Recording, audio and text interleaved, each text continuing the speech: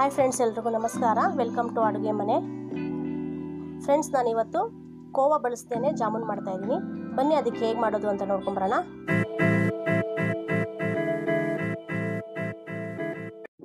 Friends ಇಲ್ಲಿ ನಾನು ಒಂದು ಇನ್ನೂರು ಗ್ರಾಮ್ ಅಷ್ಟು ಹಾಲಿನ ಪುಡಿ, ಯಾವುದಾದ್ರು ಬಳಸ್ಬೋದು ಹಾಲಿನ ಪುಡಿ. ನೂರೈವತ್ತು ಗ್ರಾಮ್ ಅಷ್ಟು ಹಾಲು, ಮೂರು ಸ್ಪೂನು ಮೈದಾ, ಒಂದು ಸ್ಪೂನು ಕಾರ್ನ್ಫ್ಲೋರ್ ತೊಗೊಂಡಿದ್ದೀನಿ.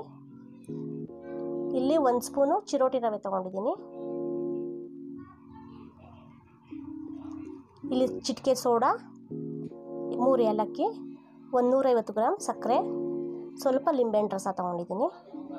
ಹಾಗೆ ಸ್ವಲ್ಪ ತುಪ್ಪ, ಒಂದೆರಡು ಸ್ಪೂನ್ ಆದರೆ ಸಾಕು. ಇಲ್ಲಿ ನಾನು ಪ್ಯಾನಲ್ಲಿ ಹಾಲು ಹಾಕ್ಕೊಂಡು ಸ್ವಲ್ಪ ಉಳಿಸ್ಕೊಂಡಿದ್ದೀನಿ. ಇವಾಗ ಇದಕ್ಕೆ ಮಿಲ್ಕ್ ಪೌಡ್ರು ಮಿಕ್ಸ್ ಮಾಡಬೇಕು.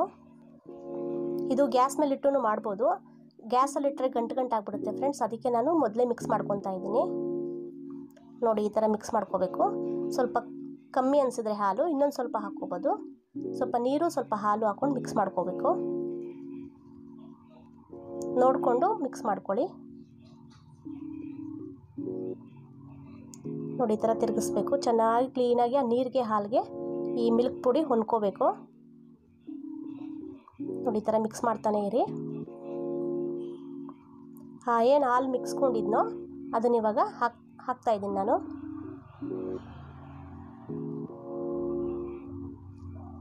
ತಿರ್ಗ ಮಿಕ್ಸ್ ಮಾಡ್ಕೊತಾ ಇದ್ದೀನಿ ನಾನು. ಈ ಥರ ಚೆನ್ನಾಗಿ ಮಿಕ್ಸ್ ಮಾಡ್ಕೊಳ್ಳಿ. ಇಷ್ಟ ಆಗಿದೆ. ಇವಾಗ ನಾನು ಒಲೆ ಮೇಲೆ ಇಡ್ತೀನಿ ಇದನ್ನು. ಫ್ರೆಂಡ್ಸ್ ಇದನ್ನು ಸಣ್ಣ ಕಾವಲ್ಲಿ ಮಿಕ್ಸ್ ಮಾಡ್ಕೊತಾನೆ ಇರಬೇಕು ಸೌಟಲ್ಲಿ. ಈ ಥರ ಮಿಕ್ಸ್ ಮಾಡ್ಕೊತಾನೆ ಇರಬೇಕು, ಇಲ್ಲಾಂದರೆ ತಳ ಹತ್ಬಿಡುತ್ತೆ, ಕೆಳಗಡೆ ಎಲ್ಲ ಸೀದೋಗ್ಬಿಡುತ್ತೆ. ನೋಡಿ, ಇವಾಗ ಸಣ್ಣ ಕ್ಲೀನಾಗಿ ಪೇಸ್ಟ್ ಆಗಿದೆ. ನೋಡಿ, ಇದೇ ಥರನೇ ತಿರುಗಿಸ್ಕೊಂಡ್ರೆ ಈ ಥರ ಗಟ್ಟಿ ಆಗ್ತಾ ಇರುತ್ತೆ. ಅವಾಗ ಸ್ವಲ್ಪ ತುಪ್ಪ ಹಾಕೋಬೇಕು ಎರಡು ತುಪ್ಪ ಎರಡು ಸ್ಪೂನ್ ತುಪ್ಪ ಹಾಕ್ಕೊಳ್ಳಿ. ಈ ತುಪ್ಪ ಮಿಕ್ಸ್ ಮಾಡ್ತಾ ಮಾಡ್ತಾ ಇದ್ದರೆ ಎಣ್ಣೆ ಬಿಡೋಕ್ಕೆ ಸ್ಟಾರ್ಟ್ ಆಗುತ್ತೆ. ನೋಡಿ, ಈ ಥರ ಮೆತ್ತಿಗಿರಬೇಕು, ತುಂಬ ಗಟ್ಟಿಗಾಗಿ ಬಿಡಬಾರ್ದು ಇವಾಗ ಪಾಕ ಮಾಡೋಕ್ಕೆ ಇಟ್ಕೊಳ್ಳೋಣ. ಬಾಣಲಿ ಇಟ್ಕೊಂಡು ಅದಕ್ಕೆ ಸಕ್ಕರೆ ಹಾಕ್ಕೊತಾ ಇದ್ದೀನಿ. ಸ್ವಲ್ಪ ನೀರು. ಅದು ಮುಳುಗಿದ ಮುಳುಗಿದ್ಕಿಂತ ಸ್ವಲ್ಪ ಮೇಲೆ ನೀರು ಜಾಸ್ತಿ ಇರಬೇಕು. ಅದು ಸ್ವಲ್ಪ ಕುದಿಬೇಕು ಫ್ರೆಂಡ್ಸ್. ನೋಡಿ, ಇಷ್ಟು ಕುದ್ರೆ ಸಾಕು. ಒಂದೇಳೆ ಪಾಕ ಏನು ಬರಬೇಕು ಅಂತೇನಿಲ್ಲ. ಸ್ವಲ್ಪ ಒಂದು ಐದು ನಿಮಿಷ ಕುದಿಸಿದ್ರೆ ಸಾಕು. ಇವಾಗ ಏಲಕ್ಕಿ ಹಾಕ್ಕೊಂಡಿದ್ದೀನಿ. ಸ್ವಲ್ಪ ಲಿಂಬೆಹಣ್ಣು ರಸ. ಈ ಲಿಂಬೆಹಣ್ಣು ರಸ ಈ ಜಾಮೂನ್ಗೆ ಚೆನ್ನಾಗಿ ಹಿಡಿಯುತ್ತೆ. ಪಾತ್ರೆ ಗಂಟಲ್ಲ ಅಂತ. ಈ ಹದದಲ್ಲಿ ಆಗಿದ್ದರೆ ಪಾಕ ಆಗಿದೆ ಅಂತ. ಇವಾಗ ನಾನು ಇದನ್ನು ಕೋವಾ ಮಾಡ್ಕೊಂಡಿದ್ನಲ್ಲ, ಹಾಲಿಂದ, ಪುಡಿಯಿಂದ, ಅದನ್ನು ನಾನು ಒಂದೆರಡು ಅವರ್ ತಣ್ಣಗಾಗಕ್ಕೆ ಬಿಟ್ಟಿದ್ದೆ ಇವಾಗ ತಣ್ಣಗಾಗಿದೆ. ಇದಕ್ಕೆ ಚಿರೋಟಿ ರವೆ ಹಾಕ್ಕೊಂಡು ಮಿಕ್ಸ್ ಮಾಡ್ಕೊತಾ ಇದ್ದೀನಿ. ಒಂದೊಂದನ್ನೇ ಹಾಕ್ಕೊಳ್ಳಿ ಫ್ರೆಂಡ್ಸ್ ನೀಟಾಗಿ ಕ್ಲೀನಾಗಿ ಕಲಿಸ್ಬೇಕು. ಇವಾಗ ಕಾರ್ನ್ಫ್ಲೋರು ತೊಗೊಂಡಿದ್ದೀನಲ್ಲ, ಅದನ್ನು ಹಾಕ್ಕೊಂಡು ಮಿಕ್ಸ್ ಮಾಡ್ಕೊತಾ ಇದ್ದೀನಿ. ಒಂದೊಂದೇ ಹಾಕ್ಕೊಂಡು ಮಿಕ್ಸ್ ಮಾಡ್ಕೊಳ್ಳಿ. ಚೆನ್ನಾಗಿ ಬರುತ್ತೆ ಜಾಮೂನು. ಈ ಥರ ಕೋವ ಇಲ್ಲ ಅಂದರೂ ನಾವೇ ಮನೆಯಲ್ಲಿ ಕೋವ ಮಾಡಿಕೊಂಡು ಹಾಲಿನ ಪುಡಿಯಿಂದ ಈ ಥರ ಮಾಡ್ಕೋಬೋದು. ಇದು ಟೇಸ್ಟು ತುಂಬ ಚೆನ್ನಾಗಿರುತ್ತೆ. ಇವಾಗ ಮೈದಾ ಹಾಕ್ಕೊತಾ ಇದ್ದೀನಿ. ಈ ಮೈದಾ ಹಾಕ್ಕೊಂಡು ಸ್ವಲ್ಪ ಸೋಡಾ, ಅಡುಗೆ ಸೋಡಾ ಹಾಕ್ಕೊಂಡಿದ್ದೀನಿ. ಇದು ಒಂದಕ್ಕೊಂದು ಎಲ್ಲ ಕೋವ, ಮೈದಾ ಎಲ್ಲ ಒಂದಕ್ಕೊಂದು ಮಿಕ್ಸ್ ಮಾಡ್ಕೋಬೇಕು ಚೆನ್ನಾಗಿ.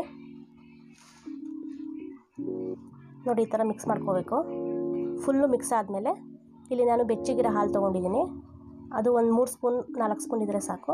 ಸ್ವಲ್ಪ ಸ್ವಲ್ಪನೇ ಹಾಕ್ಕೊಂಡು ನಾದ್ಕೋಬೇಕು ಫ್ರೆಂಡ್ಸ್ ತುಂಬ ಫೋರ್ಸಾಗಿ ನಾದಬಾರ್ದು ಲೈಟಾಗಿ ನಾದ್ಕೊಳ್ಳಿ ಒಳಗಡೆ ಎಲ್ಲ ಪದ್ರ ಪದ್ರ ಚೆನ್ನಾಗಿರುತ್ತೆ.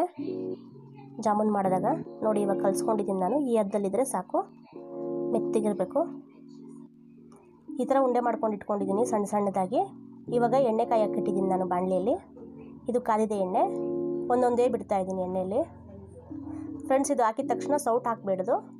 ಸ್ವಲ್ಪ ಒಂದೆರಡು ನಿಮಿಷ ಆದಮೇಲೆ ನಿಧಾನಕ್ಕೆ ಕೆಳಗಡೆಯಿಂದ ತಿರುಗಿಸ್ಕೊಳ್ಳಿ. ಅದು ಮೇಲೆ ಬರುತ್ತೆ ಜಾಮೂನು. ಇದು ಮೀಡಿಯಮ್ ಫ್ಲೇಮಲ್ಲಿ ಇರಲಿ ಫ್ರೆಂಡ್ಸ್ ಜಾಸ್ತಿ